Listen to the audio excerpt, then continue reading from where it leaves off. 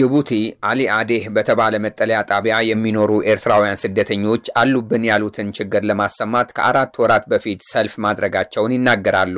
ጸጋይ እምባዬ የተባለ ስደተኛ በአሊ አዴህ መጠለያ ጣቢያ ያለው አንዱ ችግር የሕክምና አገልግሎት እጥረት መሆኑን በስልክ ለአሜሪካ ድምፅ ገልጿል። ችግራችን ብዙ ነው፣ ተነግሮ አያልቅም። ትልቁ ችግር ግን የሕክምና እጦት ነው። እናቶች በወሊድ ጊዜ የሕክምና አገልግሎት አያገኙም። ወደ ጅቡቲ ከተማ ሲመላለሱ የተሰቃዩ ብዙዎች ናቸው። በዚህ ሂደት ብዙ የተጎዱ ሕፃናትም አሉ። ትልቅ ስቃይ ነው ያለው። ሕክምና የሚባል ነገር የለም።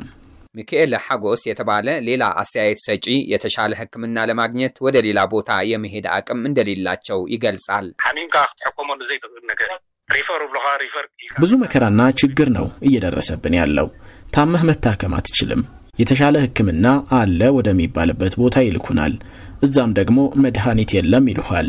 ለሕክምና ወደ ጅቡቲ ከተማ ለመሄድ ደግሞ የገንዘብ እጥረት አለብን። የተባበሩት መንግስታት የስደተኞች ከፍተኛ ኮሚሽነር ዩኤንኤችሲአር ለአሜሪካ ድምፅ በኢሜይል በሰጠው ምላሽ ስደተኞቹ ከዜጎች እኩል ከጅቡቲ ብሔራዊ የሕክምና አገልግሎት ተጠቃሚ እንደሆኑ ገልጿል።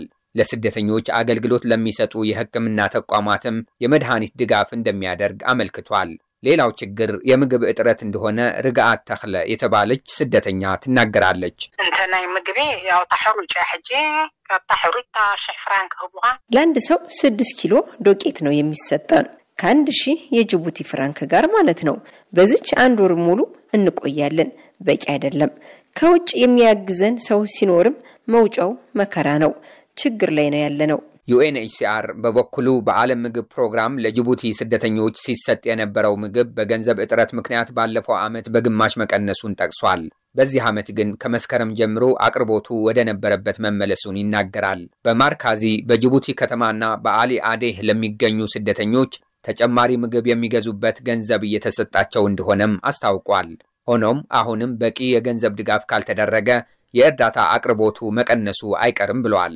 በአሊ አዴህና በሆልሆል መጠለያ ጣቢያዎች ያሉት አብዛኞቹ የኤርትራ ስደተኞች ከ8 እስከ 14 ዓመታት የኖሩ መሆናቸውን የሚገልጸው ጸጋይ ወደ ሶስተኛ ሀገር የመሄድ ዕድል እየተሰጠን አይደለም ይላል። ንኣብነት በዓልቲ ቤተይ 2014 መፅያ ክሳብ ሕጂ ሌመንቲ ዝበሃል ከሊኦማ ኣሳለም ሽከር ያጸንሐ በ2007 ዓ ም የመጣችው ባለቤቴ ይኸው እስካሁን ድረስ ጥገኝነት ጠያቂ ነች።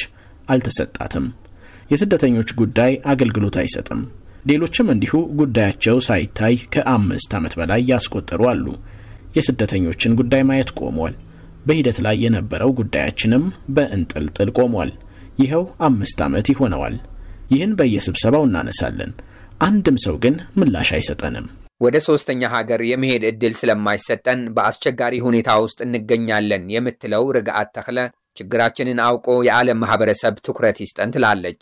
ሸሞንተ ዓመት ንህለካ ወላ ሓንቲ ለውጥ ደይብሉ ወፍ ኢልና ኣለና ዋናው ነገር ወደ ሶስተኛ ሀገር መንቀሳቀስ አለመቻላችን ነው።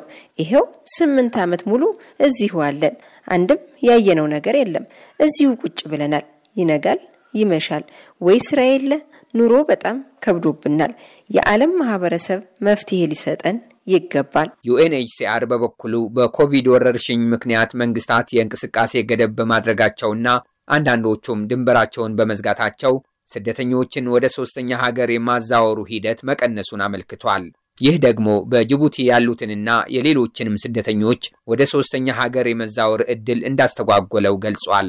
በዚህ ዓመት ግን ተቋሙ ወደ ሶስተኛ ሀገር ለመዛወር ተቀባይነት ያገኙ የስደተኞች ሰነዶችን ማየት እንደሚጀምር በኢሜይል መልእክቱ ገልጿል።